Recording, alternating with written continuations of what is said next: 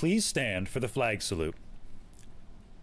I pledge allegiance to the flag of the United States of America and to the republic for which it stands, one nation, under God, indivisible, with liberty and justice for all. Today is World Thinking Day. Girl Scouts from across the globe participate in World Thinking Day. These girls gather to discuss issues that affect young women. Good morning, Lenape Tech. Today is Tuesday, February 22nd, 2022. I'm Max, and this is your student update. Please follow COVID 19 protocols or check your email and Teams regularly. The coffee shop is open Tuesdays and Thursdays, 8 to 10:45 a.m. in the library lobby. School will be in session March 25th and April 14th. If you have lost or misplaced anything, please check the lost and found area in the nurse's office.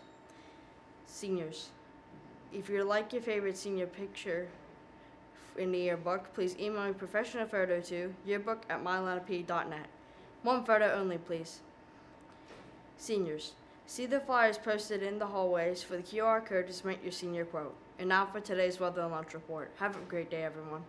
Morning, Lenape Tech. Today there will be a pretty good chance of rain because it'll be 90%. And here you see we have a rain cloud. Um, and this rain cloud will make it have a high of 55 and a low of 41.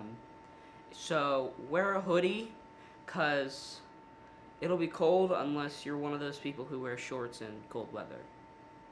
And now for the lunch report. Good morning, Lenape. Today is Taco Tuesday.